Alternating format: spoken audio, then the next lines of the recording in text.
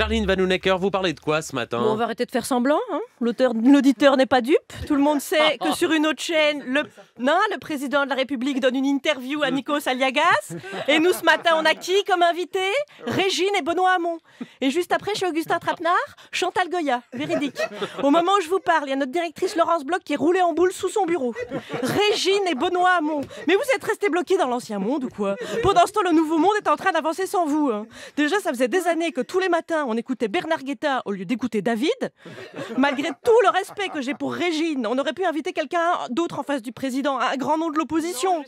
Comme euh, par exemple, euh, je sais pas moi, euh, oui, bah c'est pas facile, oui. Ça va- Ouais, Oui. ok, bah finalement, c'est pas si mal, Régine. Alors vous me direz au moins, Régine, on peut l'appeler par son prénom.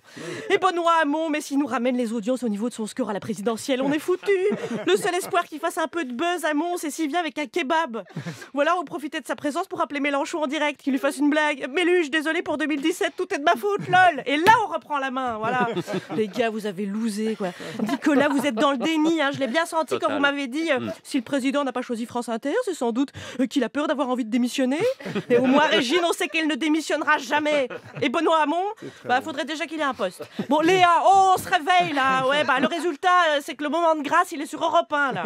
On m'a dit, Charline, débrouille-toi pour garder les auditeurs. Ok, alors restez avec nous dans un instant. Dominique Seux nous dévoilera que le soir, à la rédaction des Échos, il organise des cours de Paul Dance en citant du Karl Marx. Et dans quelques minutes, Marie-Pierre Planchon présentera la météo seins nus. Voilà.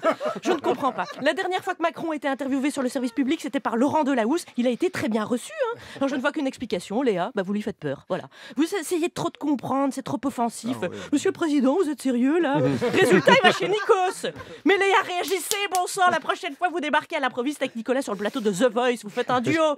Sinon, bien sûr qu'on sait déjà ce qu'il va dire, Macron. Voilà. Il y a juste à espérer qu'il balance pas encore une vieille expression française, genre euh, corne-gidouille. Sinon, ça va être repris partout. Il une dépêche AFP et on passe pour des losers. Voilà.